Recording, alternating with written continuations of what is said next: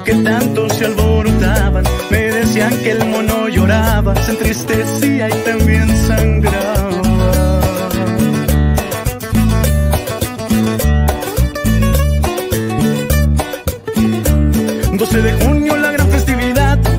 4 de marzo día del tizonazo, 8 de abril fiesta del aparecido, 9 de mayo señor del garrotazo, tantas fiestas, tanto fandango, tantos yesos, todos sangrando, tantas veces yo lo viví, hasta que Dios se apiado de mí.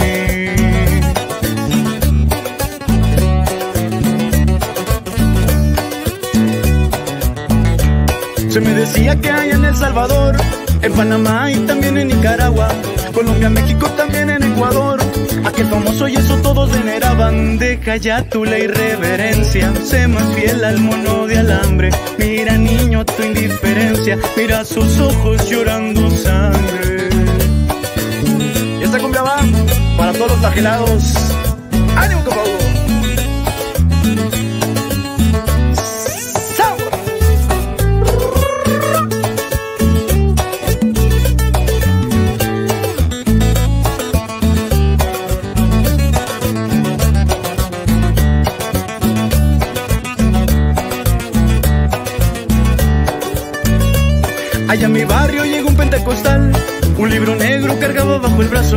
Desde las plazas, mercados y cafés, nos advertía del señor del garrotazo. ¿Y qué nos decía como Jus? Tienen ojos pero no ven, tienen manos pero no palpan, tienen pies pero no caminan. No tienen poder, no, no, no, no, no tienen poder, no tienen poder, no tienen poder, no, no, no, no, no tienen poder. Así llegó a mi casa la salvación, idolatría salió por la ventana. Nos consagramos a Jesús el Salvador, se convirtió en el dueño de nuestras almas. Tantas fiestas, tanto fandango, tantos yesos, todos sangrando. Tantas veces yo lo viví, hasta que Dios se apiadó de mí.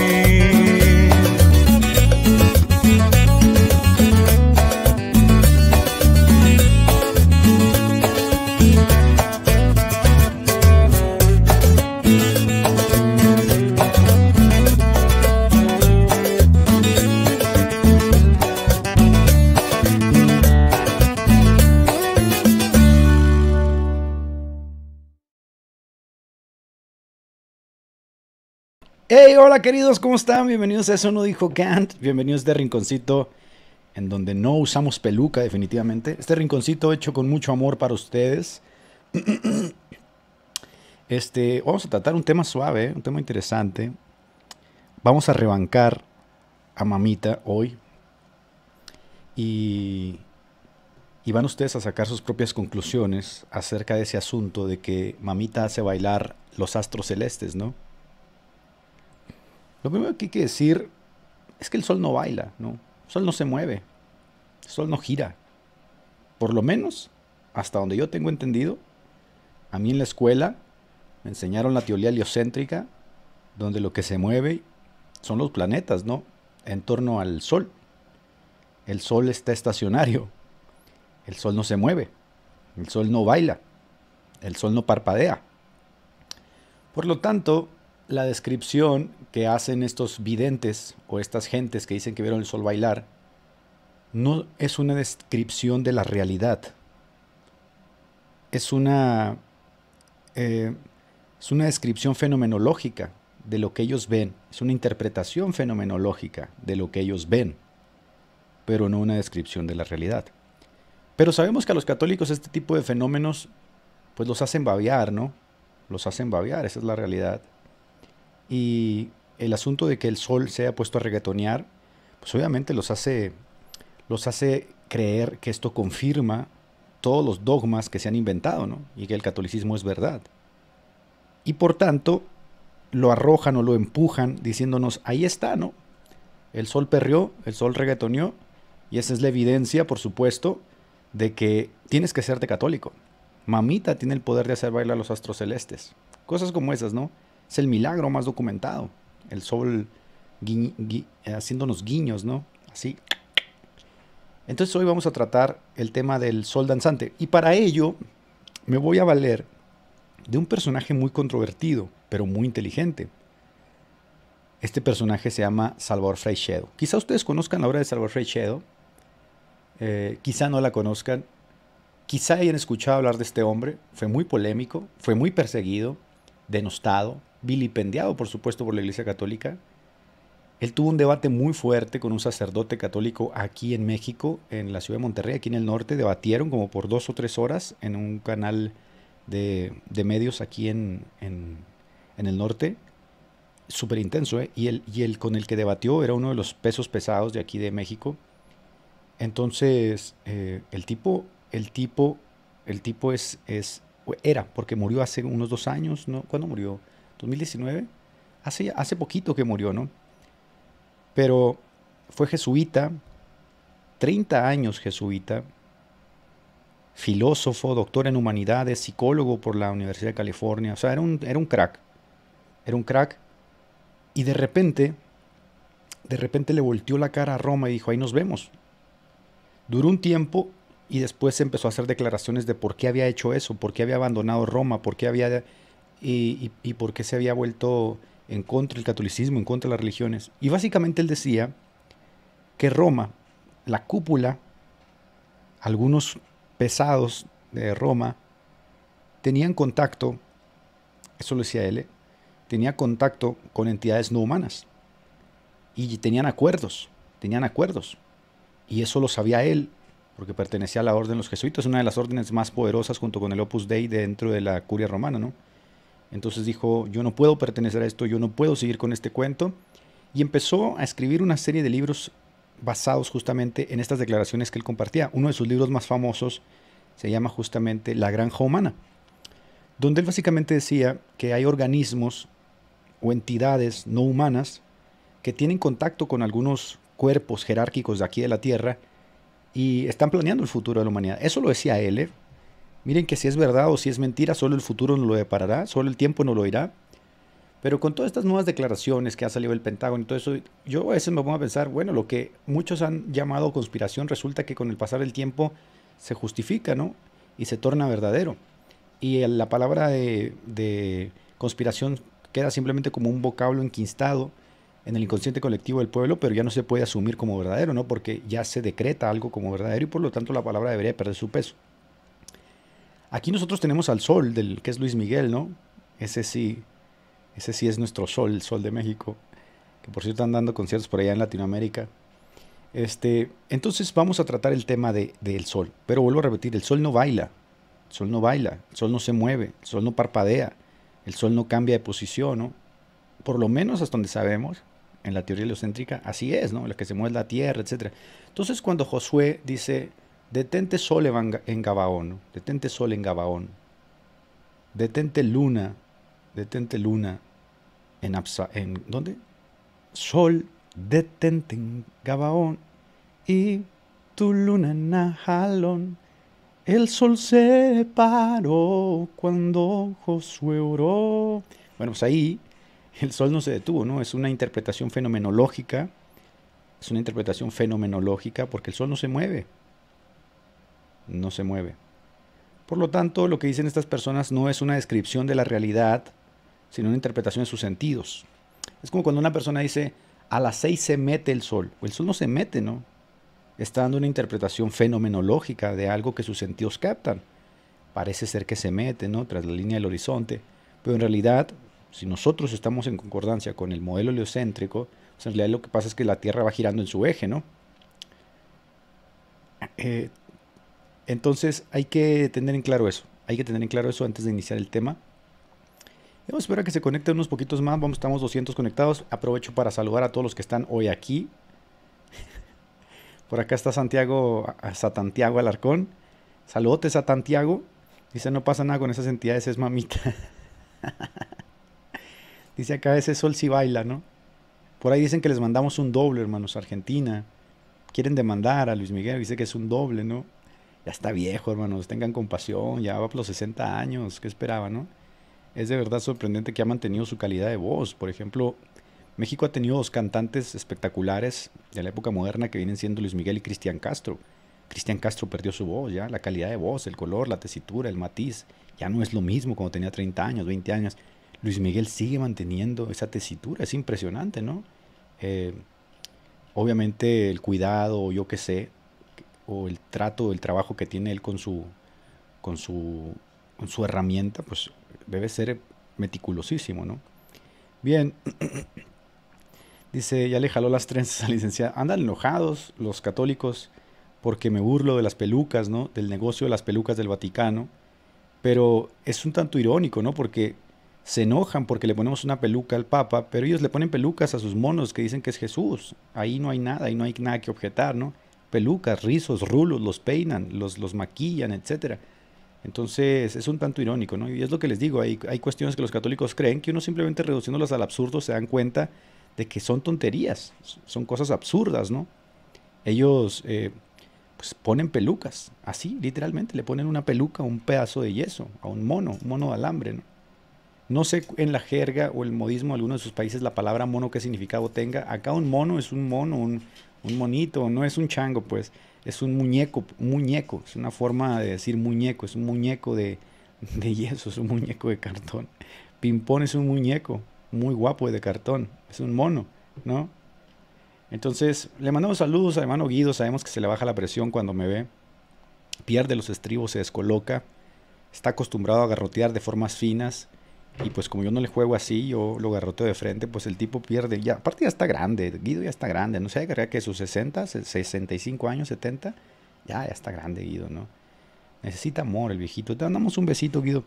Te mandamos un beso, viejito renegón. te mandamos un, beso, viejito renegón. Sabes que te queremos. Si te topaba en la calle, te agarraba besos la chompa así. Órale. Te agarraba besos, viejito renegado. Pero pues te tenemos que decir, ¿no? Te tenemos que decir que dejes ya esos yesos, los muchos yesos te están afectando, las hostias con serrate, los cueros de gallina, esos sangrantes, todo esto te está haciendo daño, Guido.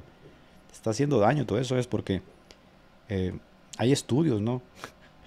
que si hueles mucho yeso, pues obviamente quemas neurona. Y tantos años en el catolicismo, con los yesos, con los cueros de gallina esos que sangran, ahora anda ofendidísimo porque dice que la Virgen sí se aparece y que yo blasfemo, que son aliens, Guido, son aliens, son aliens que te van a engañar en el tiempo final. Entonces lo único que hacemos son advertirte, ¿no? Advertirte de que no te dejes, no te dejes llevar por esos demonios. Porque no va a haber purgatorio que te salve, Guido. Entonces, bájale al yeso, de verdad, bájale al yeso, bájale dos rayas. Yo sé que dejar el yeso de la noche a la mañana es difícil, baja, ve bajándole rayitas, ¿no? Entonces le metía tres besos, lo va a meter dos y ve bajándole porque ya estás, ya estás grande, querido, ya estás grande, estás entrado en edad. Entonces, mándele un beso al hermano Guido, hermanos. Mándele un besito, mándele un beso cariñoso a ese viejito de la chomba rosa. Mándele un besito porque, pues Guido ya está grande, ¿no? Ya no debería andar aquí metido en las redes sociales, porque las redes sociales son tóxicas. Y si no sabes moverte en las redes sociales, terminas en un manicomio deprimido, metiéndote este sedantes para poder vivir la vida, ¿no? Entonces, un besito, Guido. Yo, pues ya Guido debe andar por los 70 años, más o menos, ¿no? 65, 70 años, ya, Guido, ya, ya. Ya es tiempo de pasar tiempo con los nietos, con salir al parque a que te aire, tomarte una coquita de vidrio. Ya, Guido, te mandamos besitos de aquí de la comunidad Sono Hijo Can, te mandamos muchos besitos, querido. Te queremos, Guido, te queremos. No, no te lo tomes tan personal, estabas muy enchilado ayer, Guido. Se te saltaban las venas de aquí el cuello, la yugular, se, se veía cuando, cuando hablaba se le saltaban las venas. Y yo lo único que le estaba diciendo pues es que sus monos tienen peluca, ¿no? Bien. Entonces, vamos a entrar de lleno al tema. Besos para Guido, sí, sí, mándele besitos a Guido. Ya va a entrar 75, sí, más o menos es lo que yo detectaba, 60, 70, 75, por ahí debe andar Guido. Entonces ya es una persona mayor, ya es una persona mayor, pues que está incursionando en el mundo de las redes sociales y el mundo de las redes sociales es así, ¿no? A mí también me tiran bastante en las redes sociales y tengo que aguantar, ¿no? Ayer por ahí andaba un troll que le pusiera peluca a mi mamá, sí, que no sé.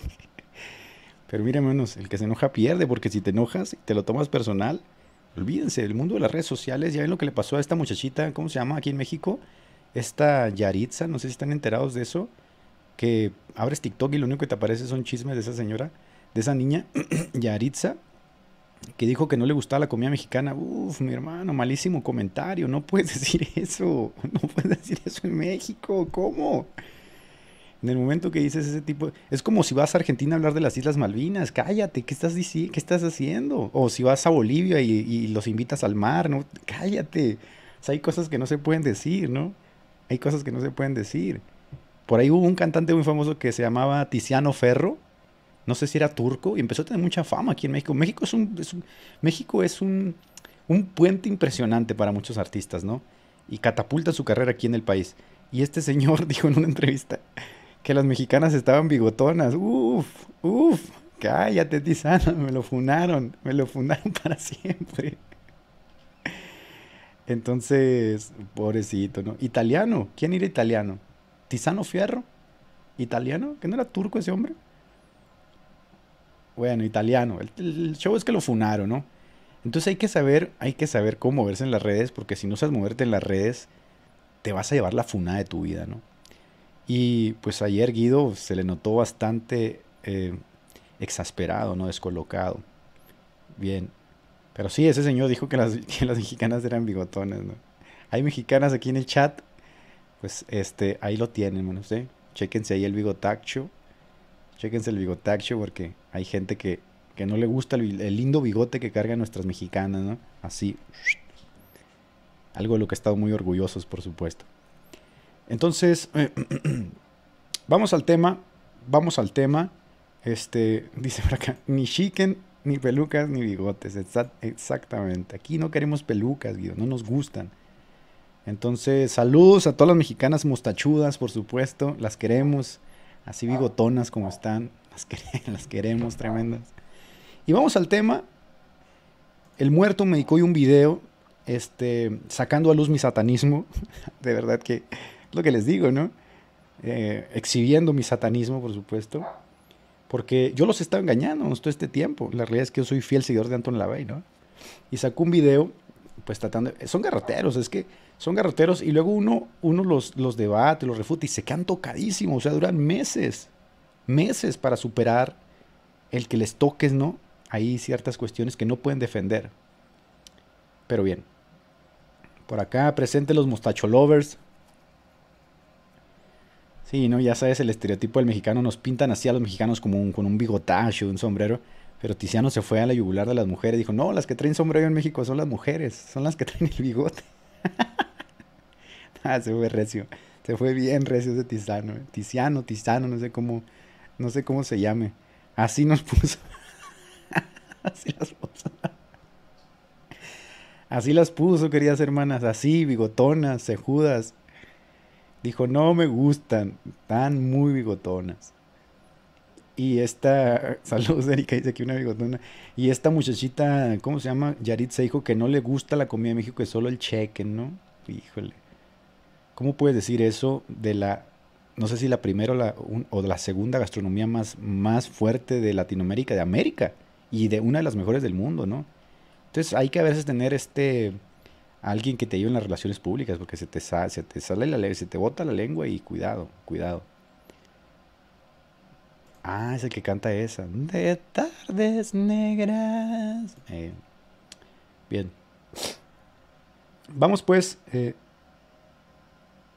Ah, pues es que este señor Tizano resultó que era, era molusco, es verdad, es verdad. Tizano después dijo que era molusco. Le gustan bigotones a Tizano. Le gustan bigotones y pues se confundió, ¿no? Se confundió. Vamos al tema del día de hoy y vamos a hablar de este señor para iniciar el tema. Salvador Freixedo, sacerdote jesuita, 30 años, 30 años en Roma, ¿no? Y no en cualquier orden, una de las órdenes más poderosas de Roma, junto con el Opus Dei y otros, otras órdenes, ¿no? Por ahí que están en Roma, eh, jesuita de la orden de eh, de Loyola, esta orden que se funda justamente en el contexto del concilio de Trento para hacer frente no apologético como una orden militar, literalmente para hacer frente a, todo aquello que estuviera en contra de Roma. Han adquirido muchísimo poder y el actual papa que está hoy en Roma es un jesuita, ¿no? Es un jesuita. Bergoglio pertenece a la Compañía de Jesús, es un jesuita. Este, Y Freixedo duró 30 años ahí. Entonces no es como que cualquier fanático, cualquier loco, no, 30 años. Duró 30 años eh, perteneciendo a la Compañía de Jesús, enseñando historia de la iglesia en el Seminario Interdiocesano de Santo Domingo, República Dominicana, y fundando el movimiento de la Juventud Obrera Cristiana en San Juan de Puerto Rico, siendo viceasesor nacional del mismo en La Habana, Cuba. Entonces no era cualquier pelagatos, ¿eh? no era como, como Barrabás y que se aventó un librillo ahí todo chafa. No, no, este hombre estaba picudo, ¿eh? estaba picudo. La verdad es que era muy intelectual y se destacó bastante por, ese ingenio tan perspicaz que tenía. Y su pluma, su pluma es muy elegante. He tenido la oportunidad de leer dos libros de él, uno de ellos La Granja Humana y otro de ellos que se llama eh, Despierta Iglesia, creo su pluma es muy, muy habilidosa. Es una pluma, e, ese tipo de escritura, por ejemplo, como la de Flechedo, a mí me encanta, ¿eh? porque tienen una forma que te atrapa, te va atrapando. Y de hecho yo cuando escribí mi libro emulé mucho la forma en que Freichedo escribe, ¿no? Me gusta mucho, creo que Néstor también maneja mucho ese estilo. Eh, me gusta mucho ese estilo, yo le llamo como la pluma que flota, ¿no? Las, o sea, el escrito es muy, muy bueno y te atrapa desde el principio. Entonces no era cualquier pelagato, era un hombre destacado, por supuesto, dentro de la, de la organización. Y abandonó el catolicismo después de confesar, confesó posteriormente, obviamente, que la cúpula romana ocultaba un engaño, un gran engaño al mundo que involucraba entidades no humanas. Eso lo dijo él. Entonces aquí pasa algo, aquí pasa algo, porque uno puede hacer un análisis psicológico de esta persona. ¿Qué pasó con Freixedo? ¿Realmente conoció algo? ¿Realmente vio algo? ¿Se enteró realmente de algo? ¿O simplemente se dejó llevar por ciertas ideas a las cuales él le sumó sus especulaciones? Él decía eso, que él estaba enterado de que la cúpula romana tenía contacto con seres o entidades no humanas, ¿no? Eso lo decía él. Y después de esto, después de esto, de que él sale del catolicismo, después de 30 años del catolicismo, empieza a dedicarse ya abiertamente al tema de la omni, omni, ¿cómo le llamaba él? Omniteología. Omniteología le llama él. Así le llamaba. Entonces, posterior a su salida del catolicismo, se convirtió en un profundo difusor del fenómeno ovni, alertando al mundo de grandes eventos que acontecerían en el futuro. Su obra más conocida es La Granja Humana.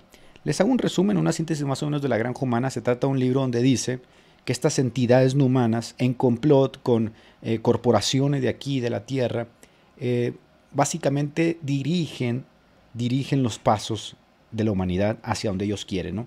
Y él habla, por ejemplo, de reseteos, él habla, por ejemplo, de la despoblación, temas que pues hoy son como en boga, ¿no? Gracias a las redes sociales se han puesto en boga, en tendencia, etcétera se han vertido sobre el tejido social, son temas comunes, son temas que a algunos les gustan, a otros no les gustan, pero esto lo decía ya él en los 70, ¿eh? 60, 70. Entonces, él decía eso, ¿no? Que hay como una, como así tipo George Orwell en su libro del 1984, así él más o menos lo explicaba, pero involucrado con entidades no humanas. Entonces se volvió un profundo, profundo difusor del fenómeno ovni. Tiene muchísimos libros que hablan justamente del tema. Uno de ellos se llama Teo, Omniteología donde dice que estos seres básicamente son demonios y donde explica cómo han ido tratando con la humanidad desde los primeros eh, pasos del, hombre aquí en la tierra, así, ¿no? hasta donde estamos hoy. Han estado presentes, han estado entre nosotros, viven entre nosotros y en el futuro se van a volver a presentar. Entonces creo que va en la línea, creo que va mucho en la línea este, de lo que, por ejemplo, dice Serafín Rose, ¿no? Y de lo que dice eh, esta señora que dijo que los dioses están de vuelta. Va en la línea de eso. Es este, este, este, tipo de literatura. Es este tipo de literatura que muchos consideran conspiranoica, que muchos dicen no hay fuentes, no hay forma. Bueno, el tiempo le ha ido dando la razón en cierto sentido a Salvador Freixedo. No sabemos realmente si lo que él dice de Roma sea cierto o no sea cierto, pero él se volvió un investigador muy, muy meticuloso. Recuerden que él es psicólogo, él era doctor en humanidades, teólogo por supuesto, entonces hizo como una suerte de simbiosis de esas, herramientas y se volvió un investigador muy meticuloso y estuvo investigando meticulosamente las apariciones marianas. De hecho, escribió un libro que habla sobre las apariciones marianas. ¿no? Este personaje con el tiempo abrazó el agnosticismo, creía en Dios, de repente hablaba de Dios y una cosa rara, pero se desentendió totalmente de la región por su, por su trayecto por la Iglesia Católica. ¿no? Escribió un libro que se llamaba Las eh, apariciones marianas, donde hace detalladamente un análisis de las apariciones que ha habido, obviamente hablando de las más representativas, como la de Fátima, donde el sol se puso a perrear, y otras apariciones dando su punto de vista. En una de esas apariciones, él participó de una serie de fenómenos que él nos va a decir ahorita, sobrenaturales, participó de una serie de fenómenos sobrenaturales en donde él vio cosas, experimentó cosas y las narra ¿no? en su libro. Si el libro lo quieren, lo tengo, se los puedo pasar sin ningún problema. Él narra lo que vivió, él narra lo que experimentó y luego saca su conclusión de lo que fue pasando. Ahora, él empezó a hacer como una suerte de asociación, un patrón descriptivo de lo que sucedía en estas apariciones, con las personas que las veían, con la gente que participaba, con los fenómenos que se veían, incluyendo, por supuesto, el asunto del sol perreador, el sol reggaetonero. ¿no? Eh, entonces, vamos viendo paso por paso el asunto de Frank Shade. Él investigó un caso de una, una vidente, eh, una vidente que recibía mensajes de María. Y es que siempre es el caso, ¿no? Yo les conté que cuando yo fui católico había una, una persona dentro del grupo carismático que aseguraba que María se le había aparecido en la noche, específicamente la Virgen de Meyugore. Y yo les cuento así mi experiencia, yo era muy era un adolescente, ahorita lo, lo rememoro y recuerdo lo que sucedió, pero básicamente esta señora de, este intelectual, arquitecta, se le aparece la Virgen de Meyugor en la noche mientras está acostada al lado de su cama. Eso es lo que ella narraba, porque también se tocó mucho hermetismo dentro del grupo carismático en el que yo estaba, mucho hermetismo en cuanto al tema, pero todos vimos el cambio que aconteció en esta mujer. Se le apareció la Virgen de Meyugore y le dio profecías, decía ella. Entonces al día siguiente ella llegó con un cuaderno lleno de profecías que la Virgen de Meyugore le había dado. Se rapó, la mirada se le veía perdida, este, regaló sus posesiones y formó una suerte de culto. Obviamente con el tiempo se separó el grupo carismático eh, y cuando orábamos, cuando hacíamos por ejemplo liberaciones, que íbamos a liberaciones, ella decía, soy la Madre María. no miento, de verdad, se los digo de todo corazón. Eso decía, como que entraba en trance. Y decía, soy la Madre María, hijito mío, puedes oler a rosas aquí. De verdad, Dios me es testigo que no miento de eso. Y muchas veces yo sí me saqué de onda y dije, caramba, o sea, yo lo esperaría de, no sé, pero a la vez me sorprendía porque estando circunscrito al rollo católico, estando viviendo el rollo católico, pues eso era como muy sorprendente. Ah, mamita María está hablando por medio de esta loca, ¿no? Eh, entonces en una ocasión fuimos a una oración de una persona de una persona muy de la alcurnia, ¿no? Porque como saben, pues para poder acceder al grupo carismático pasaban primero por el padre y el padre pues nos, los mandaba a nosotros, ¿no? Y era una persona de la alcurnia que había hecho brujería en su casa y no sé qué, y oía voces y fuimos a hacer la oración. Y mientras estábamos orando, ella como que entró en trance y empezó a hablar, ¿no? Hijito, y aquí huele a rosas, hijito, porque estoy yo aquí. Y creo que ahí fue como el punto de inflexión de ya empezamos, ahí, eh, oye, pues que siempre que vamos a esta señora dice que es María, ¿no? Que está hablando María.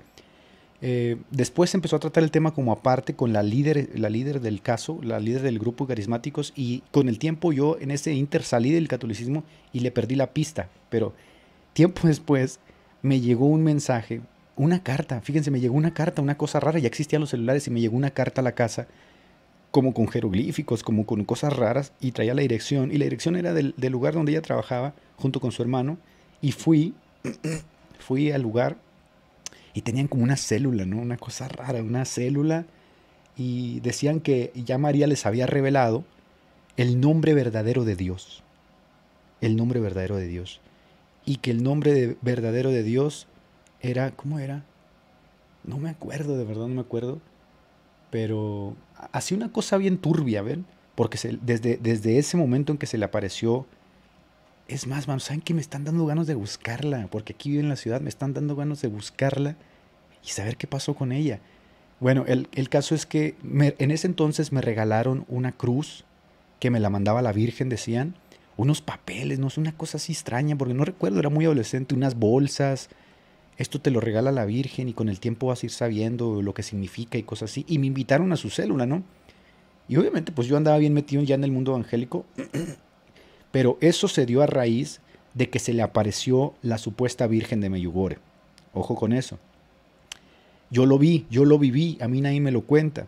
Después, eh, yo le contaba aquí en otras ocasiones al, hermano Rito, que fue uno de los pastores con los que yo tuve contacto mi primer, en mi primer punto en el cristianismo. Él también se le apareció la de Guadalupe. se le apareció la de Guadalupe mientras estaba orando. Este es testimonio de él, lo contaba en su testimonio, que fue mientras el interno, cuando él abandonó el catolicismo, a los pocos días mientras oraba, se le apareció la Guadalupe, la de Guadalupe enseguida de la cama mientras estaba hincado, y que le dijo, hijito, ¿por qué me abandonas? Y que el hermano Rito este, la reprendió, te reprendo demonio, ¿no? Y se le empezó a transformar la cara y se desapareció.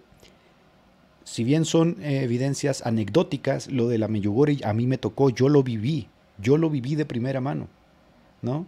Entonces vamos a ver el caso de Freixedo, porque Freixedo también vivió estas experiencias, ya no como jesuita, ya estaba fuera de la iglesia, por esto que les acabo de comentar, y él vivió estas experiencias y nos da un inter de todo lo que está circunscrito en torno a las famosas apariciones que hacen babiar a Santiago, ¿no?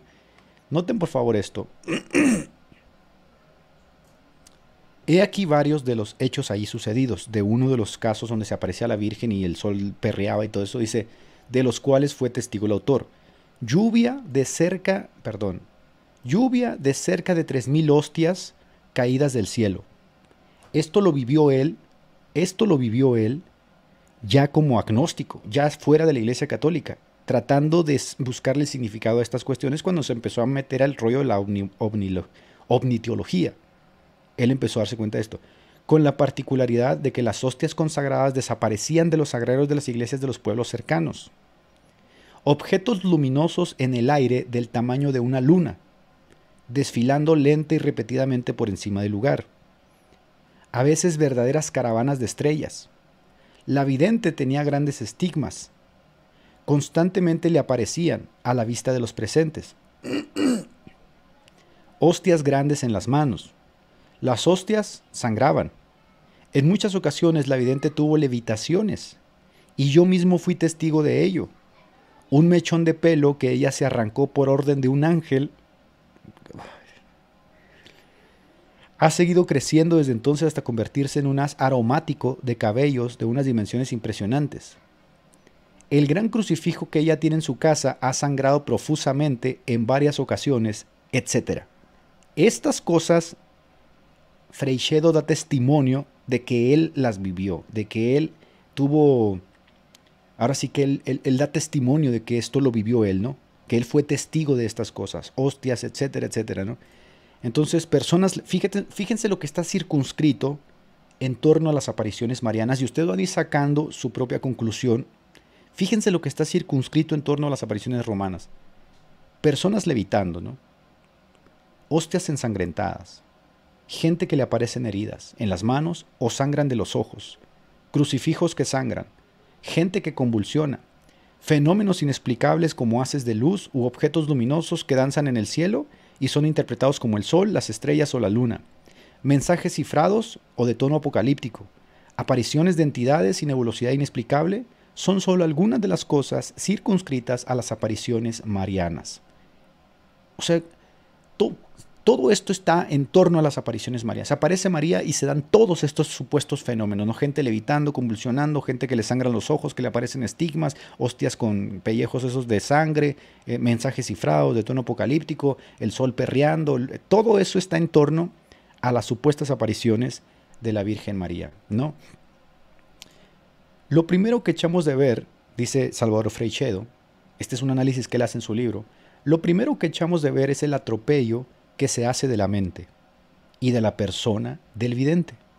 La falta de respeto a su libre albedrío, dejándola totalmente indefensa y a merced de lo que la aparición le ordene.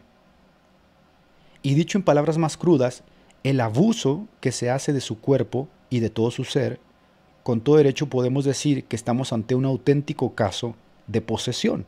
Eso lo dice Freixedo, ¿no? cuando empezó a investigar el caso de las apariciones marianas. Se dio cuenta de que las personas que tienen contacto con estas entidades que se autonombran María quedan trastornadas, no quedan bien. ¿Y por qué? Porque en su libro eh, hay entrevistas que hace con algunas de las videntes y hay testimonios de gente que trató con ellas. Hay un caso muy famoso que él comenta en su libro, que después de estas apariciones a una señora, que ahorita la voy a poner, se le presentaron dos personas de negro y la golpearon, pidiéndole que dejara de comunicarse con esas entidades. Saquen ustedes las conclusiones de todo eso. Ella interpretó aquello como que eran bandoleros o gente mala que no quería que la bendición de la Virgen siguiese expandiéndose por el mundo. Pero Freixedo dice que cuando uno lee entre líneas, dos hombres de negro que se le presentan, la golpean y la amenazan para que deje de comunicarse con esas entidades, pues ya va, ¿no? Ya va sacando como conclusiones qué está pasando en torno a todas estas, todos estos fenómenos tan interesantes, ¿no? Pero vamos a seguir. Los éxtasis, dice Freixedo, las sangraciones, las comunicaciones, etcétera, suceden de una manera repentina, en los momentos más impropios, sin que la aparición se digne esperar una circunstancia más propicia, cuando haya más privacidad y sin que tampoco se digne pedir la voluntad del vidente. Es un verdadero ataque a todo su ser, ya que la vidente comienza enseguida a manifestar sufrimientos físicos y psicológicos, cuestiones que tolera, fíjense, cuestiones que tolera por el convencimiento de estar ante una entidad espiritual. O sea, dice, bueno, sí, me está, me está sacando el hígado con un cuchillo, pero pues es la virgencita, ¿cómo va a ser? Vean la mortaja de sangre de esa mujer que está en la imagen, ¿no? Una, una estigmatizada. Y él les había dicho yo en otras ocasiones que es bien raro, ¿no? Que cuando eh, aparecen los estigmas, de inmediato aparece sufrimiento, demonios, tormentos, etc. Pero esta gente lo tolera porque están convencidísimos, están convencidísimos de que es algo espiritual, de que estas entidades son positivas, ¿no? Entonces una persona que entra al cuarto, ¿no? Que entra al cuarto de esta señora y la ve ahí botando sangre por los ojos y por todas partes, ¿no? Uno dice, caramba, ¿qué pasó aquí, no?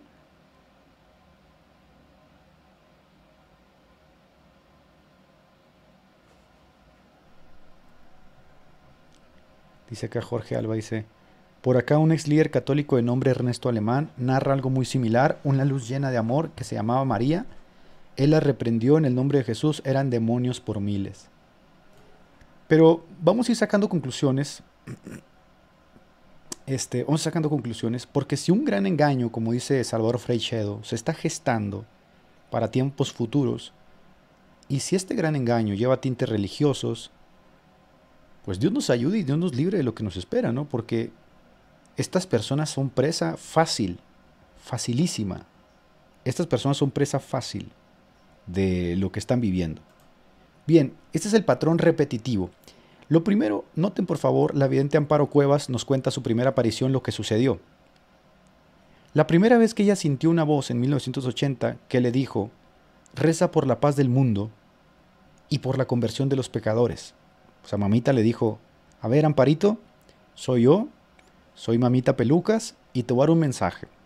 Reza por la paz del mundo y reza por los pecadores. Ay, todo qué lindo, mira qué católica mamita. Pero también te va a sacar el hígado a golpes, ¿no? Vas a sentir pruebas de dolor. Y dice Amparito, comenzó en efecto a sentir agudos dolores y gritó, ¿pero qué es esto? Y la voz le dijo enseguida, esto es la pasión de Cristo, hermosa. Tienes que pasarla entera. Pues, de nuevo volvió ella a protestar, yo no lo resisto.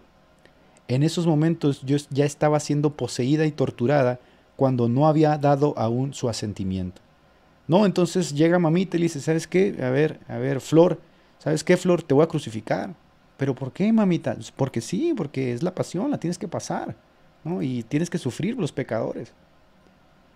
Entonces cuando vas viendo justamente todo lo que está circunscrito en todo, ah, sí, pues Santiago se pone a babear, no, el sol, el sol, mira, chabón, que el sol se puso, a... pero no dice todo lo que está circunscrito en torno a toda esa posesión, a toda esa entidad demoníaca que se ha presentado, ¿no? Entonces esta es la primera vez que se le aparece a Amparo Cuevas. Ahora, Amparo Cuevas se hizo tan famosa que hubo rivalidad entre los fieles de Fátima y los fieles del lugar donde Amparo Cuevas veía sus, sus famosas visiones, que también acarreaban a miles y miles de personas y la iglesia declaró que estas no, estas no las queremos, ¿no? Queremos las de Fátima.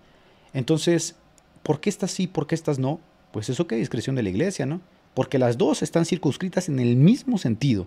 En las dos hubo, por ejemplo, el sol perreando, en las dos hubo estigmas, en las dos hubo milagros, en las dos hubo toda esa barbaridad. Pero ahí lo tiene, ¿no? Vamos a seguir. El patrón repetitivo. Las apariciones que más nos interesan suelen tener ciertas circunstancias concomitantes. Es católico, tienen que entender por qué usa la palabra concomitante, aparte que la está utilizando bien, ¿no? que trataremos de resumir.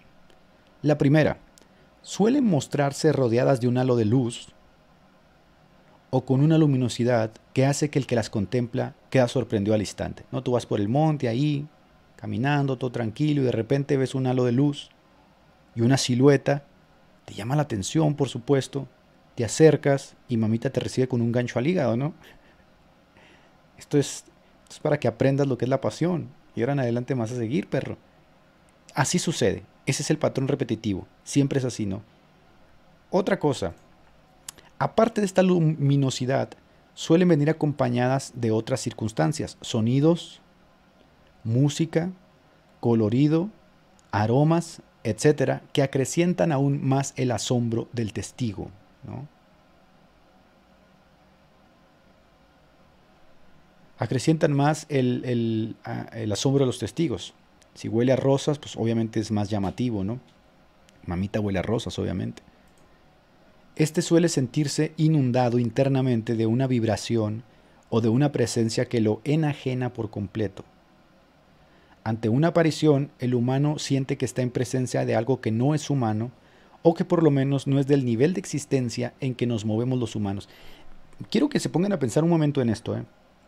Quiero que se pongan a pensar un momento en esto. No es fácil, hermanos. De verdad se los digo. No debe ser fácil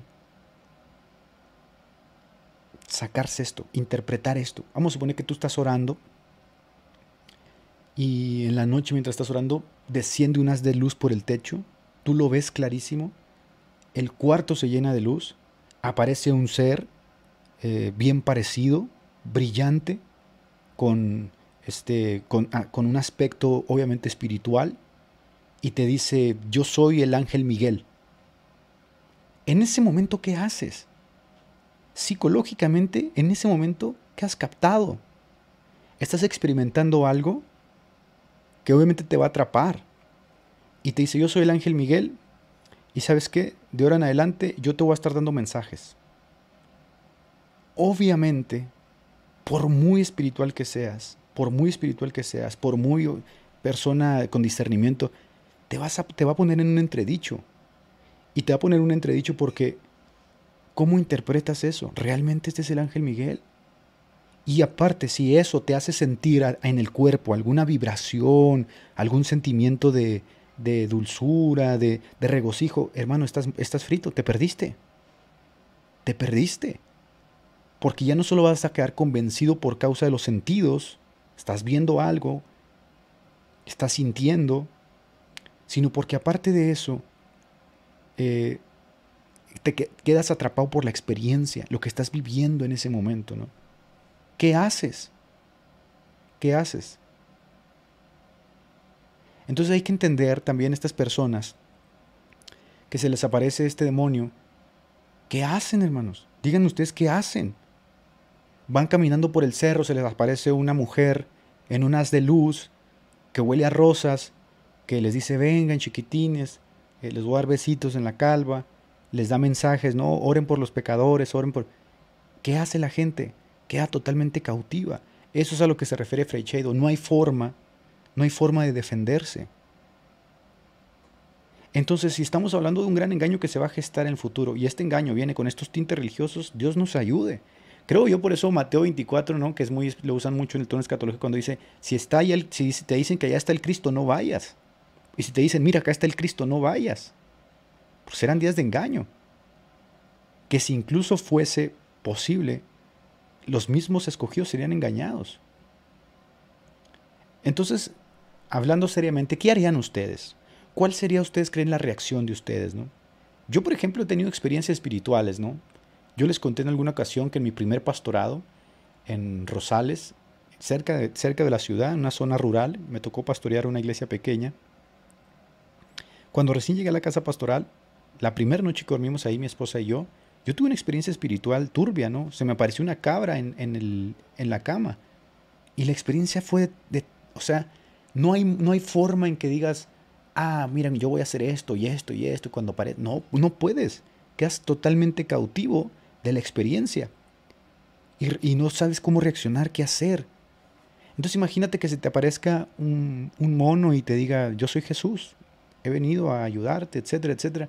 Yo a veces pienso que justamente por este asunto psicológico es que Jesús se reserva el, como algunos decían, ¿por qué Dios ya no se aparece? Por, obviamente, eh, ¿cómo reaccionarían las personas?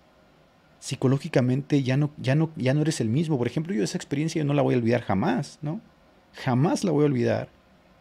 Me acuerdo que estaba tan asustado que levanté a mi esposa, nos pusimos a orar los dos, porque la experiencia fue clarísima. O sea, vi que estaba una cabra negra en mis pies, como, como riéndose, como retándome, ¿no? Y de repente se, se esfumó. ¿Qué haces, hermano? ¿Qué haces si un ser de estos se te aparece, pero no con un sentido tétrico, sino que se aparece como ángel de luz? Cuidado, ¿no? Porque el mismo Satanás se disfraza de ángel de luz. En última instancia, si te aparece algo como la experiencia que yo tuve, pues dices, ah, fue un demonio, no fue algo malo, fue algo tétrico, fue algo oscuro. Y lo disiernes, pero ¿qué, qué, qué pasaría si se te disfraza de ángel de luz? ¿Qué le pasó a Mahoma? Mahoma está, estuvo convencidísimo de que quien se le había aparecido en esa cueva era el ángel Gabriel.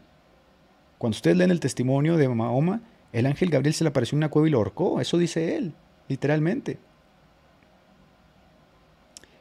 ¿Qué pasa con Moroni? Con este, los mormones. El tipo está convencidísimo de que se le apareció un ángel. Se le apareció un ángel. El ángel Moroni. Ahora están tan convencidos que terminan, terminan siendo presas de las órdenes de estos seres, ¿no? Y ahí está la religión, el Islam. Y ahí está la otra religión, el, los mormones. ¿Qué se va a hacer? Pues piénsenlo. Si un gran engaño se está gestando y viene eh, matizado por el asunto religioso, si yo sé que podemos reírnos ahorita y podemos hacerlo verlo jocoso, pero si por ahí viene el asunto, Dios nos ayude de verdad. Bien. Patrón repetitivo. Su mente suele ensancharse repentinamente conociendo cosas que antes no conocía. Y su cuerpo suele sentirse invadido, bien sea por una ola de felicidad, es lo que les decía, si la visión es de algo agradable, o de terror cuando lo contemplado es negativo. Esto lo dice mucho Rudolf Otto en Lo Santo y lo Luminoso. Él habla mucho justamente de esto, ¿no? que las eh, experiencias noéticas, le llama él, las experiencias noéticas, que te dan como una certeza que no puedes explicar. No sabes cómo explicarla, pero te transforma. ¿no? En cierta manera, Pablo tiene una experiencia noética.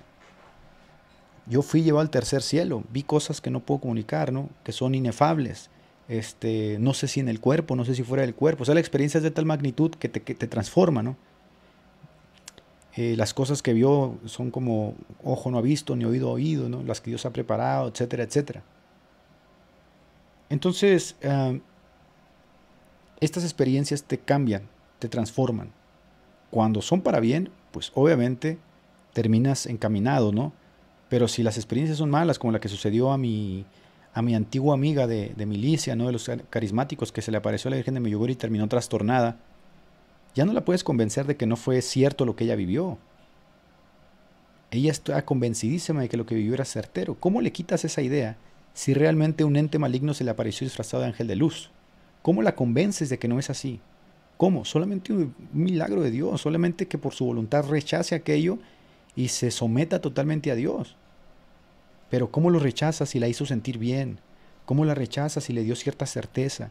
¿Cómo la rechaza si él la vio con sus ojos? ¿Cómo?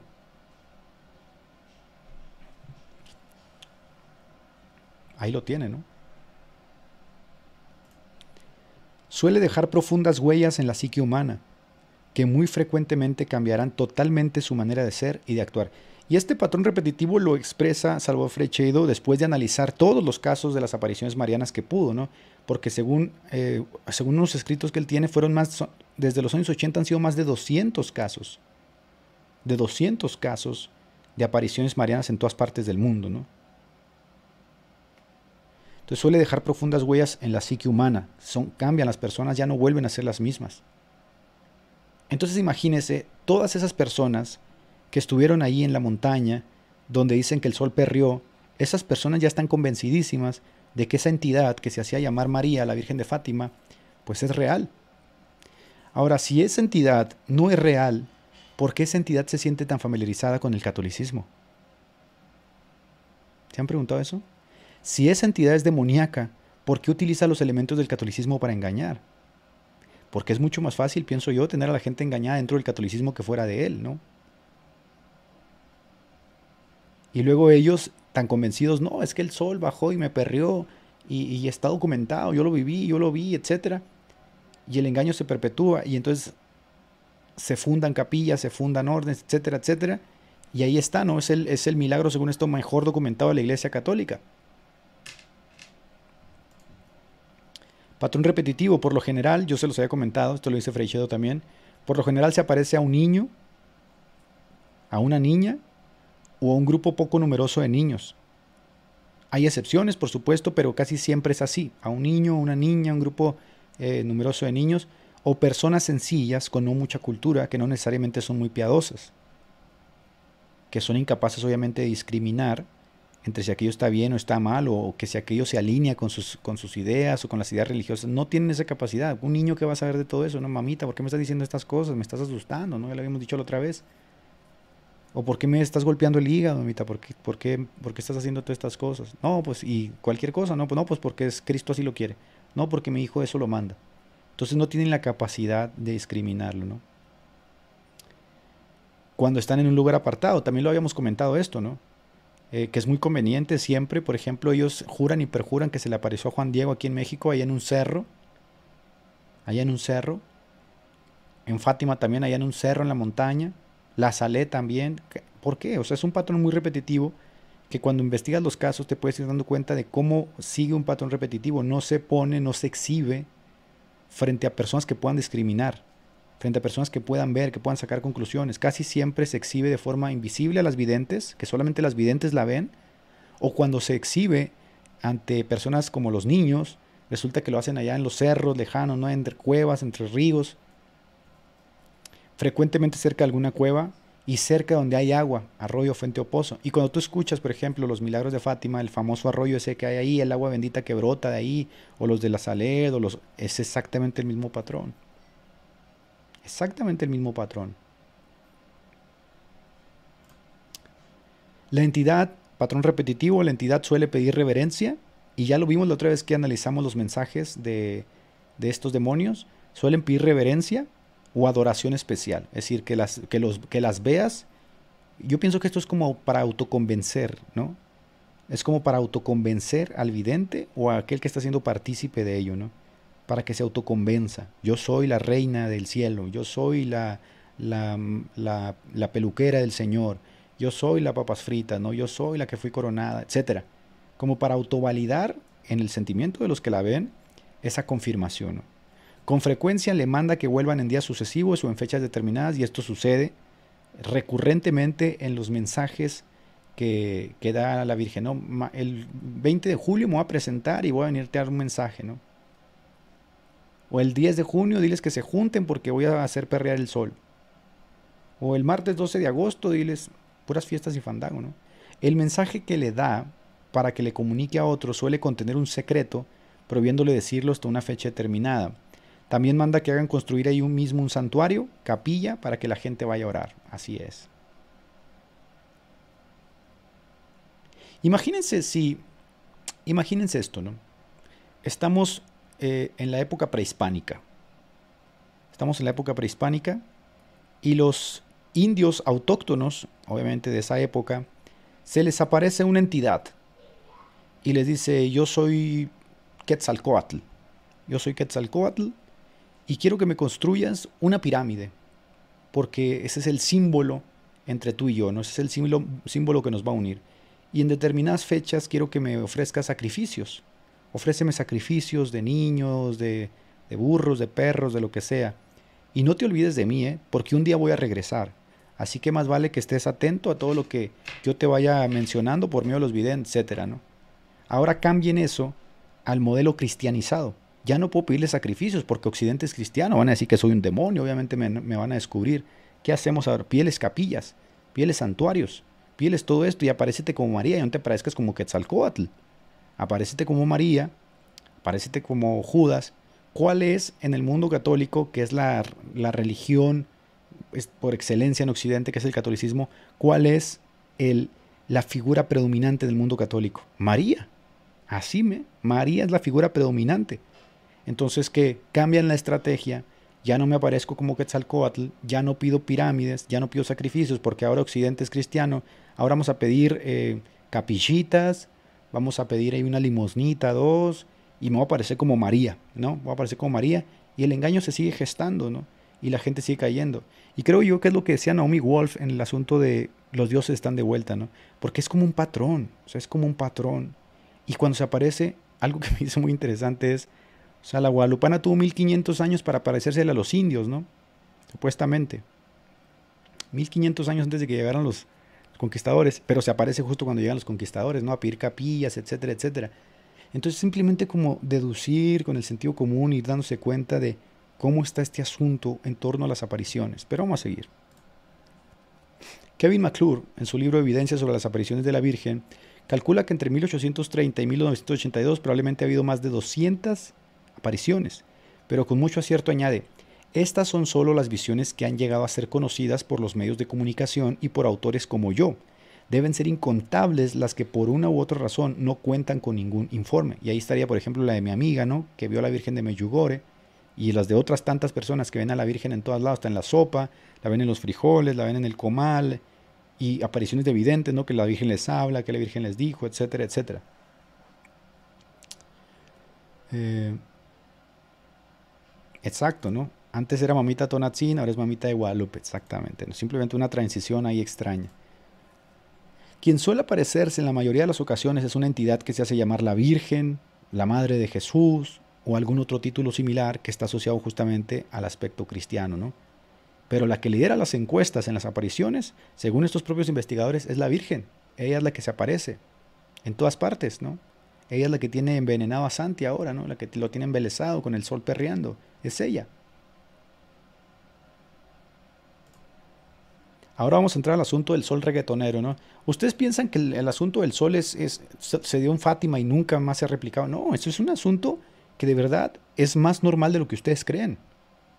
Es más normal de lo que ustedes creen. Después de leer lo que vamos a leer, ustedes sacarán sus propias conclusiones. Todo esto que estoy leyendo viene en el libro de Salvador Frechedo del análisis que él hizo de las apariciones marianas. Él, como ex jesuita, está totalmente embebido de lo que es el catolicismo y él como el jesuita acusa al catolicismo de ser un gran embuste que está obviamente trabajando con entidades no humanas. Después de leer lo que sigue, ustedes sacarán sus conclusiones de ese fenómeno del sol bailando. Porque ese fenómeno, Salvador Freixedo dice que es real. Ojo con eso, ¿eh? No es ninguna eh, psicosis colectiva, no es ninguna alucinación psicológica, es real, el fenómeno es real, lo han vivido muchas personas. ¿Cuál es la explicación? Que le damos a ese fenómeno. Los católicos dicen que es María. María pone a reggaetonear al sol, ¿no? Lo pone a bailarles de Luismi. Pero Frecheido da una serie de explicaciones. Pero primero, antes de eso, antes de eso, vamos a dar cuenta que este no es un fenómeno eh, único. es un fenómeno que se ha replicado en muchas partes, ¿no? O sea, a María le gusta, según los católicos, poner a, poner a zapatear al sol, ¿no? le pone una cumbiona al garrotazo y lo pone a bailar y la gente, miren, el sol está bailando, ¿no? Es lo más documentado que hay en el catolicismo. El milagro del sol, chabón. Entonces vamos a ver. 1917, Fátima, Portugal. 70 mil personas. Saludos, Santi. Yo sé que estás aquí en el live. Te mando un beso. Eres mi costal de box. 70 mil personas fueron testigos de la primera danza del sol. 70 mil personas. es casi una ciudad. 1947, 30 años después, en Tiromestica, Checoslovaquia, tres niños que pastoreaban ganado vieron a la Virgen, vieron a la Virgen, y a los pocos días mucha gente vio otra vez al sol perrear. Ahí lo tienen. 1949, dos años después, Heroldsbach, Alemania, los niños Mary Heilmann, 10 años, siempre niños, se dan cuenta, siempre niños, y Grete Google, 11, junto con 10.000 personas, vieron al sol acercarse a nosotros chisporroteando fuertemente, tal como aseguró por escrito el párroco del lugar. Aquí tenemos tres casos ya de soles danzantes, ¿no? Cuando calienta el sol, como dice, aquí en la playa, siento tu cuerpo vibrar cerca de mí. Si ese sol es el que hace bailar, mamita, yo sí jalo, hermanos, la verdad. Bien, tres casos, tres casos de soles bailarines, ¿no? Tres casos. Teniendo en cuenta que el sol no se mueve, que el sol no baila, que el sol no gira, ¿qué está sucediendo aquí? ¿Es un fenómeno óptico? ¿Acaso? ¿Es una alucinación? 1950, Pío XII vio desde los jardines del Vaticano en más de una ocasión el famoso milagro del sol. De hecho, hay fotos de eso, ¿no? Pío XII le comentó a su secretario que había visto al sol bailar. ¿Cómo dice? ¿Cómo dice mi mariachi?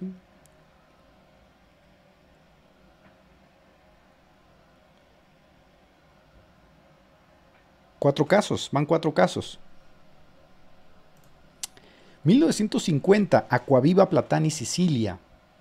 La niña Tina Maliana, de 10 años, junto con una muchedumbre, vio abrirse una nube, ojo con estas descripciones, vio abrirse una nube y apareció una estrella rutilante. Acto seguido el sol, que hasta aquel momento había tenido un brillo apagado, empezó a dar vueltas sobre sí mismo. Primero de izquierda a derecha, o sea, empezó a dar vueltas, izquierda a derecha, para subir luego en locas cabriolas hacia lo alto del ciclo. Después el sol estuvo echando chispas de todos los colores y dando vueltas sobre sí mismo como movido por un resorte automático. Entonces tenemos aquí un fenómeno de un haz luminoso que se está moviendo. Debe ser impresionante, la verdad, ver eso, ¿eh? Debe ser impresionante ver eso. Obviamente esta gente queda totalmente engañada.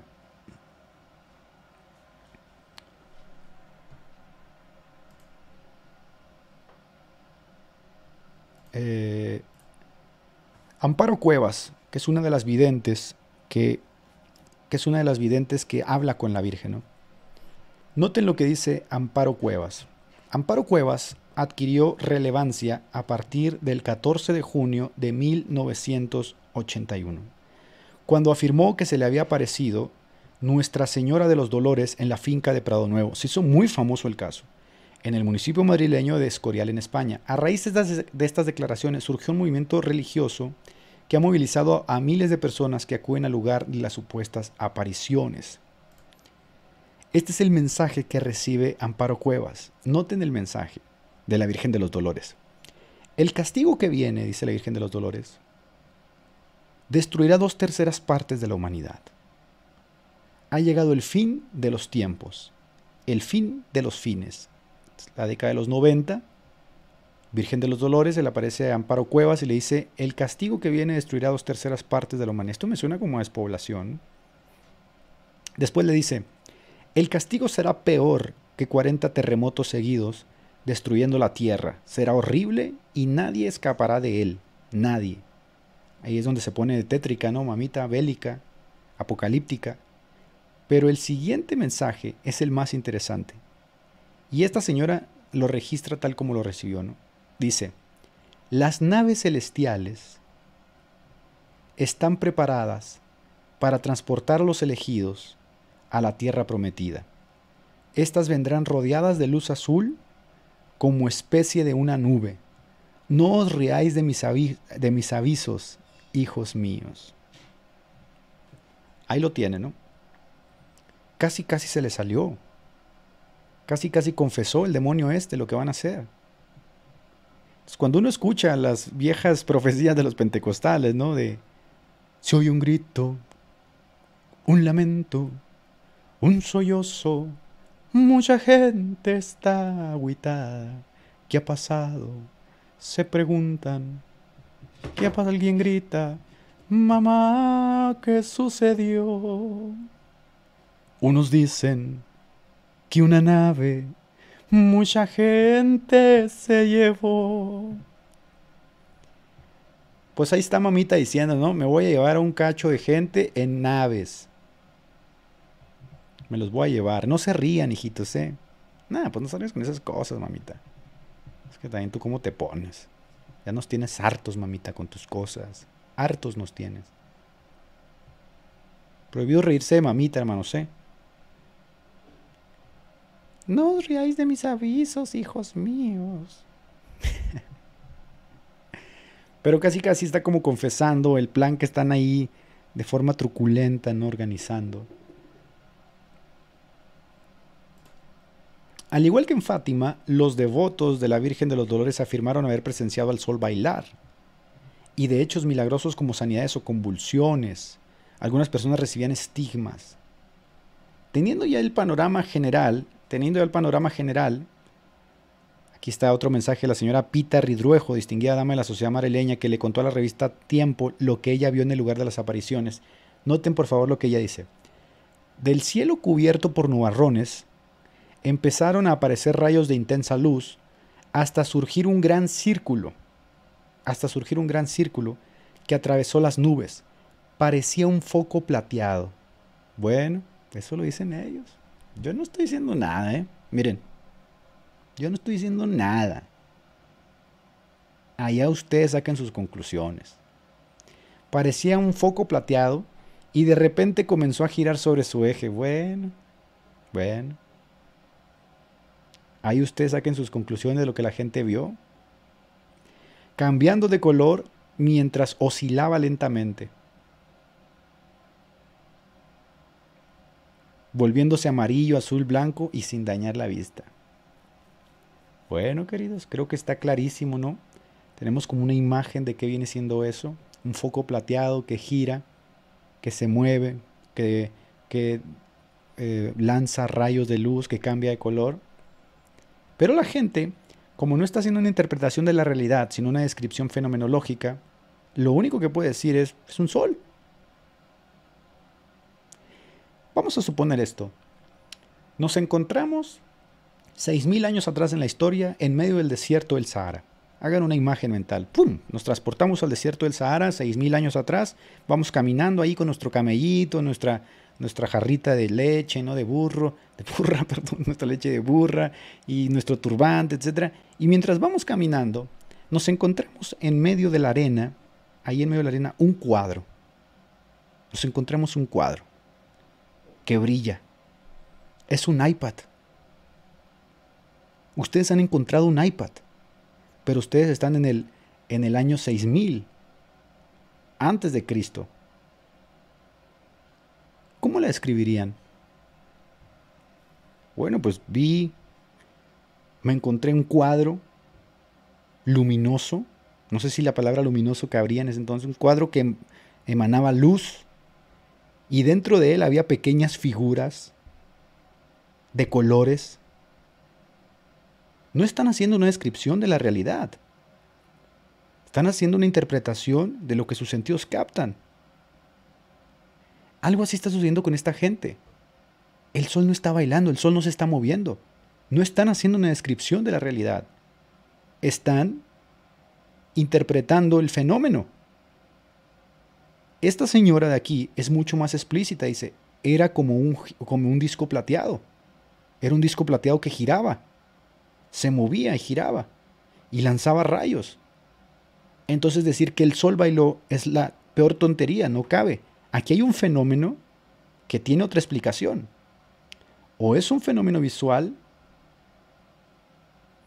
o es un fenómeno de alguna entidad que nosotros no conocemos y con la que no hemos interactuado. Una entidad que posee ciertas características, que posee cierto conocimiento, cierta tecnología quizá, y ya lo iremos sabiendo, ¿no? Pero noten por favor lo que dice. Del cielo cubierto por nubarrones empezó a aparecer rayos de intensa luz hasta surgir un gran círculo. Esto no lo puede hacer el sol. Aquí estamos ante un objeto. Aquí estamos ante un objeto. Y ella lo dice, ¿no? Que atravesó las nubes. Estamos en un objeto que se mueve. El sol no se mueve, el sol no baila, el sol no camina. No, pero es que yo soy católico y para Dios todo es posible, oiga. Bueno, pues allá si usted quiere creer todas esas tonterías, ¿no? El sol no se mueve. El sol está a millones de distancia a la Tierra. Si el sol se mueve, usted termina quemada. Entonces, ¿qué está viendo? Está viendo un objeto la señora, un objeto brillante, un objeto plateado, un objeto que emite sonido, un objeto que emite luz. Pero como la señora está tratando de describir algo que no conoce, algo que no entiende, algo que no puede interpretar correctamente, lo que se le viene a la cabeza es la asociación. Y lo asocia, obviamente, lo asocia con el sol. ¿Por qué? Porque el sol está arriba, el sol brilla, este es el sol. ¿Ante qué están estas personas, hermanos? ¿Cuál es su conclusión? Dígamelo usted en los comentarios. ¿Ante qué están estas personas? ¿Están ante un objeto? ¿Están, están ante una entidad? ¿Ante qué están? Cuando nos dan estas descripciones,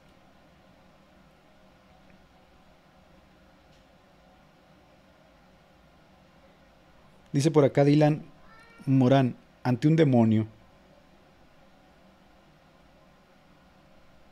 ante Maluma,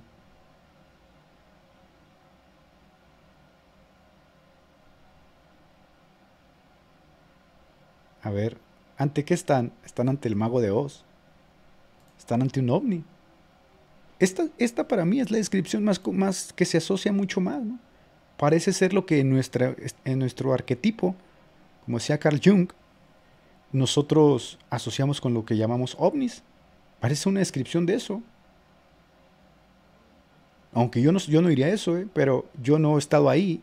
Pero cuando hacen estas descripciones y tenemos acá a mamita hablando de naves y todo eso, yo digo, bueno, pues si ellos están preparados para todo ese rollo, ¿Y qué pasaría, hermanos? ¿Qué harían ustedes si de repente una gran parte de la población desaparece, pero no son ustedes los que desaparecen? Sino que aparecen algunas naves y se llevan una gran población del mundo que son los escogidos, pero no están ustedes. ¿Cómo, ¿Cómo interpretaría? Imagínense nada más cómo interpretarían eso los dispensacionalistas que están esperando un famoso rapto secreto cuando vean que desaparece la gente y ellos van a decir, nos quedamos a la gran tribulación. Imagínense todo el engaño que se puede gestar en torno justamente a las apariciones marianas, porque todo esto está circunscrito a las apariciones marianas. Una nave, exactamente. Una nave.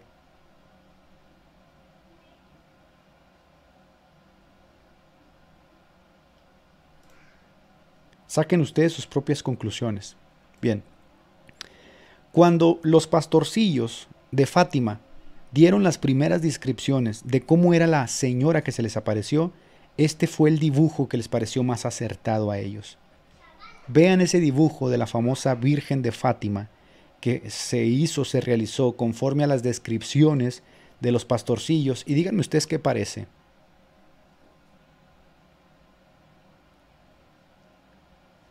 Díganme qué parece esa mona pelona.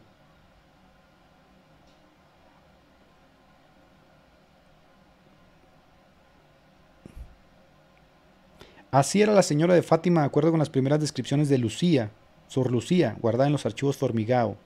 ¿Qué parece, hermanos? Díganme qué parece.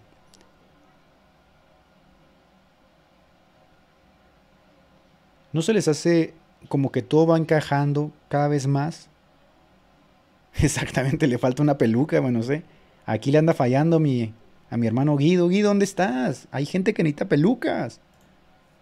Así es la descripción que hace, ¿no? ¿Qué parece ahí? Parece Wendy Guevara. Mamita megamente. Un extraterrestre. Entonces, este... Un alien, exactamente. Y luego que esas naves vengan y se lleven a los católicos, ojalá. Ojalá se lleven a Guido allá, que se le baje la presión allá en Júpiter, no sé dónde. ¿Qué parece? Pues ahí están, esas fueron las primeras descripciones. Parece que va a llover, el cielo se está nublando. Parece calamardo, dice. Soy dispensacionalista, ya valí. Yo siempre pienso en esto. Piensen en esto un momento. Esto se lo digo especialmente a los dispensacionalistas que están convencidísimos. Yo no soy dispensacionalista, yo no abrazo ninguna escuela escatológica. Eh, piensen un momento en esto. Los judíos estaban convencidísimos, convencidísimos, de que cuando el Mesías apareciese, iba a cumplir ciertas profecías, iba a ser, iba a ser así, así, así, así, así, así, así. Todo así muy informadito, ¿no? Cuando Jesús aparece, se les voló la cabeza. No sabían cómo interpretar a este personaje.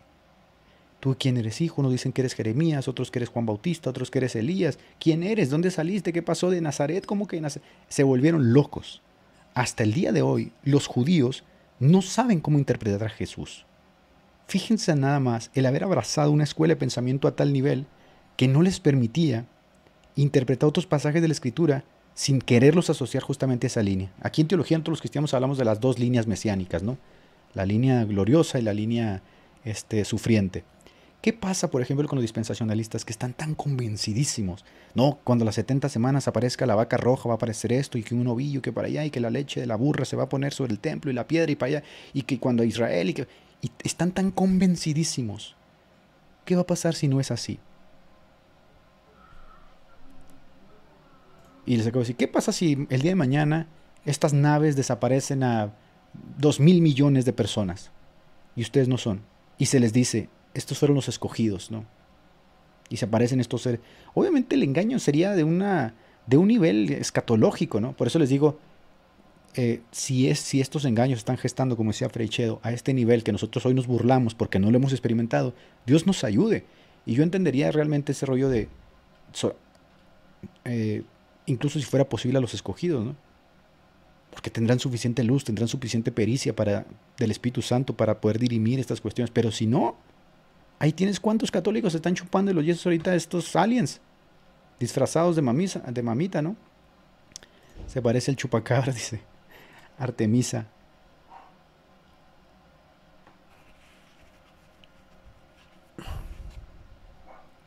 Están lloviendo estrellas en la habitación, efectivamente. Nublan de llanto mi corazón. Parece Lady Gaga. Mamita en ovni. La Wendy sin maquillaje. Les puedes traer un nuevo evangelio y se lo van a tragar enterito. De hecho, aquí los católicos que en el chat tan fritos, ¿no? Engañados totalmente.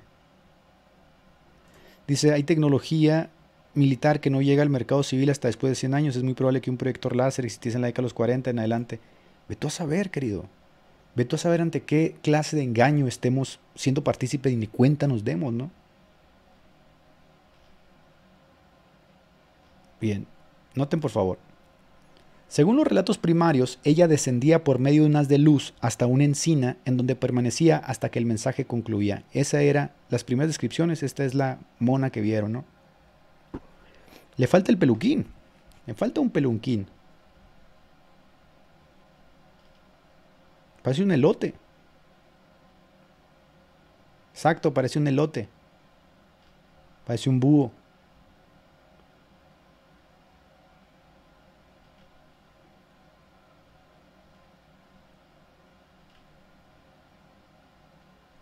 Dice, fui protestante por muchos años, creí, fui católico por muchos años, creía a ciegas en todas estas apariciones, pero me hacía una pregunta, ¿por qué tanto María? Hasta que pudiera Jesús. Exactamente. ¿Sabes por qué tanto? Porque María es central en el catolicismo, es la diosa que ellos tienen. María es una diosa. La han encumbrado como una diosa.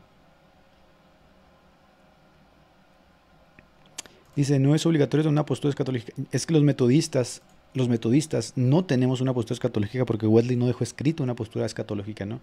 Entonces, sistemáticamente no tenemos doctrina sistemática, ¿no? Los, los metodistas.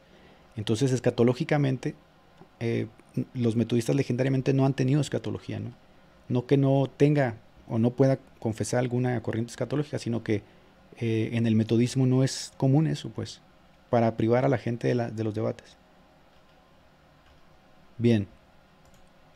Delfina Marte fue una niña dominicana a la que se le apareció la Virgen. La Virgen se apareció a esta niña dominicana llamada Delfina Marte. Posterior a las apariciones, Delfina empezó a sangrar profusamente de los ojos. Este era según la propia Delfina, la promesa de la Virgen para ella. Delfina, tú vas a sufrir mucho y todo ese sufrimiento ofrécelo por los sacerdotes. Yo te voy a mandar pronto un regalito que te va a hacer sufrir mucho. Mira, condenadota. Y ahí está el regalito, ¿no? ¿Cuál fue el regalito que le mandó la Virgen?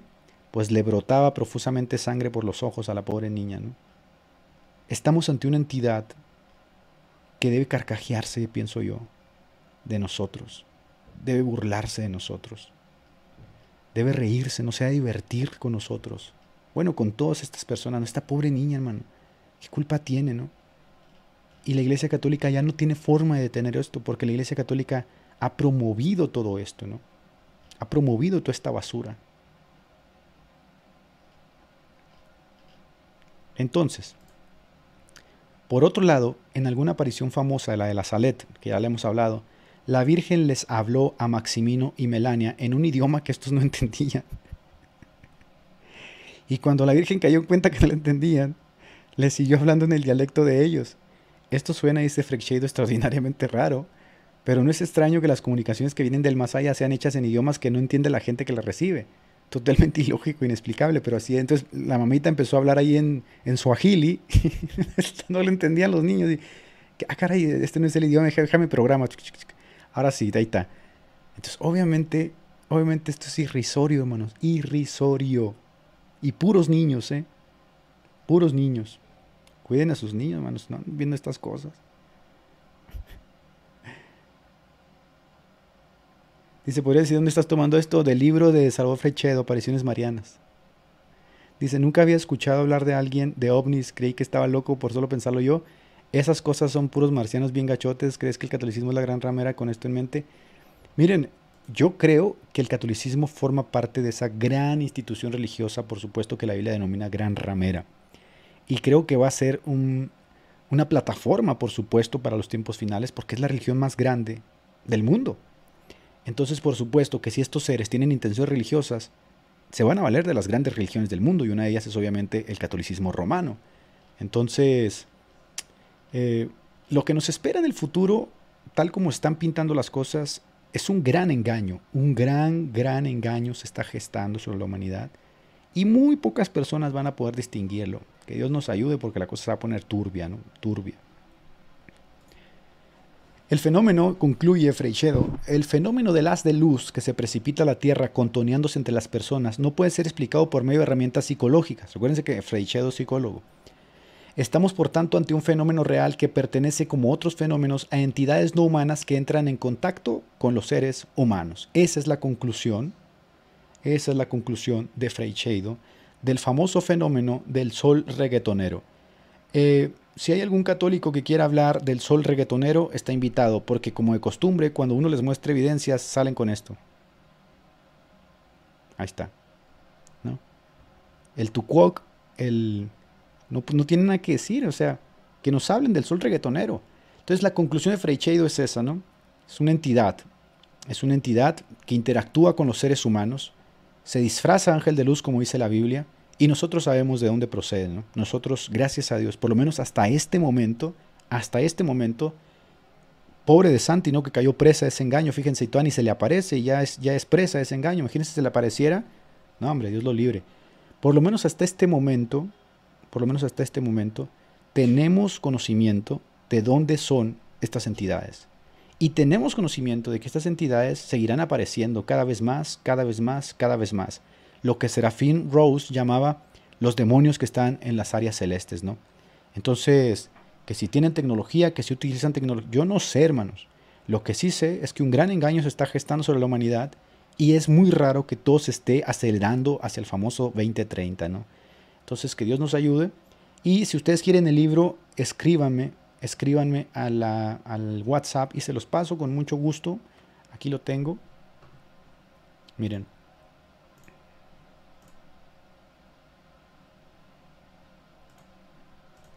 Aquí está. Este es el libro de Salvador Freichedo. Este es de las apariciones marianas, donde él hace toda la reflexión, quién, quién y por qué se aparece, etcétera, etcétera, fotos. Y, está muy interesante el libro, la verdad. ¿eh? Sobre todo por la forma en que lo aborda, como, como muy científico, como tratando de responder de las diferentes perspectivas, cómo se le puede explicar a, mire, relación de los fenómenos del escorial con el fenómeno ovni, clases de apariciones, apariciones dentro del catolicismo, apariciones fuera del catolicismo, apariciones fuera del ámbito religioso. Entonces yo hice como una síntesis, apariciones fuera del catolicismo, ahí está. Yo hice como una síntesis del libro, es un libro pequeño, apariciones fuera del ámbito religioso, realidad y credibilidad, credibilidad de las apariciones, Si alguien lo quiere, con mucho gusto lo paso y lo puede leer. Es un libro cortito. Rasgos comunes en todas las apariciones. Ahí está. Los sellos del Corial, donde se apareció la Virgen también. Ahí está. Entonces, si alguno lo quiere, me dice y se lo paso con todo gusto. Hermanos, ha sido un gusto platicar con ustedes sobre estos demonios que se aparecen vestidos de mujer, son transvestis. Y recuerden que el lunes, el lunes hay debate. El lunes tenemos el debate sobre las imágenes. Sé que va a ser un debate bastante interesante, así que este, aparte en ese día, ¿no? Aparte en ese día, va a ser un día en el que vamos a estar debatiendo aquí, defendiendo la fe evangélica con Rigo Ardón. Rigo Ardón. Entonces, muchas gracias por haber estado hoy en el live. Yo creo que ya nos vemos hasta el lunes. Mañana tengo bastante trabajo, gracias a Dios. También el domingo. Hay que ir al changarrito. Y nos vemos ya el lunes, yo creo ya el lunes hasta el debate. ¿eh? Yo creo que ya nos vemos el lunes. Este fue el último live de la semana. Eh, saludos a todos los peluqueros, no a todos los católicos que les encantan las pelucas. Y a todos los que estuvieron hoy conectados. Gracias también a los que hicieron sus aportaciones. Gracias por esas aportaciones. Que el Señor les bendiga. hermanos, les prometo que voy a buscar mis lentes para debatir con ellos, ¿no? Como fiel representante de la comunidad Sono Hijo Kant. Estuvimos casi 500 conectados. Gracias, gracias. Este, yo me voy, hermanos, pero no me voy, como saben, sin antes decirles que, que,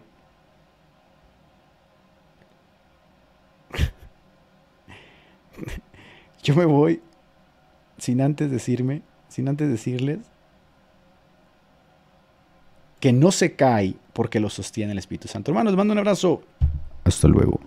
Bueno, cuando la contrastás con una iglesia evangélica protestante, con todas las luces, esos colores y demás, bueno, es más o menos como cuando uno va a McDonald's o un restaurante, digamos, ¿no? Un restaurante fino. Claro. Entiendo. Claro. Entiendo.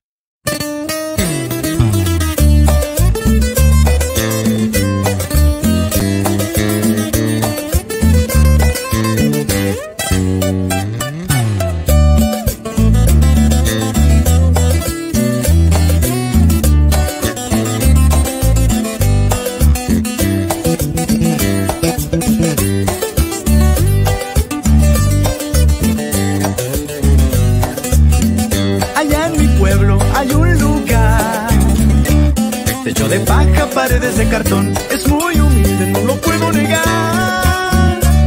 No tiene lujos, carece de valor. La gente dice que se caerá.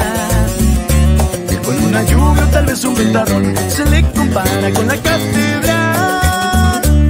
Fuera de broma, parece un bodegón. No descienden de Pedro, les falta la sotana. ¿Dónde están los vitrales? ¿Dónde está el incienso?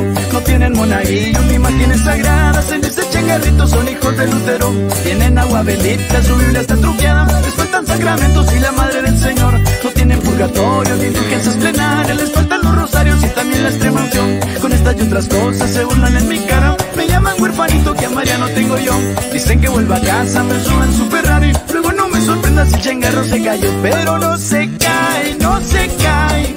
No sostiene el Espíritu Santo, pero no se cae, no se cae. No sostiene el Espíritu Santo, no, no, no se cae, no se cae. No sostiene el Espíritu Santo, pero no se cae, no se cae. Pero sostiene el Espíritu Santo. Se cae, hermano, ya lleva la comunidad, eso no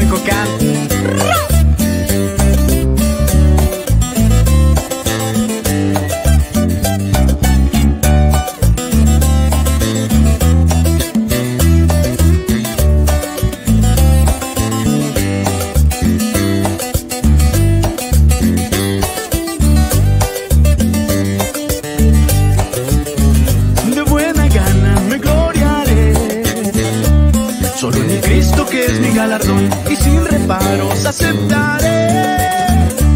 Que toda gloria mía está en la humillación, de mis carencias me gozaré. Pues tengo cosas que no compra el dinero, mi changarrito no es catedral. Palacio donde Dios me rescató. Mi hermana fue sanada, mi madre restaurada, mi padre que era alcohólico alcanzó la salvación. Mi corazón cambiado, mi alma renovada, son el fiel testimonio de que ahí habita el Señor. No hay agua bendita, solo llanto inocente, gemidos indecibles de una sincera oración. No somos huerfanitos, todos somos hermanos, madres, sigan siendo unidos en el amor. Lo tenemos vitales, somos cartas marcadas, somos libros abiertos como espejos al mundo. Nos falta la sotana, nos faltan monaguillos, pero jamás nos falta el poderoso espíritu. Pero no se cae, no se cae, pues lo sostiene el Espíritu Santo. Pero no se cae, no se cae, pues lo sostiene el Espíritu Santo. No se cae, no se cae me lo sostiene el Espíritu Santo, no, no se cae, no se cae. Me lo sostiene el Espíritu Santo.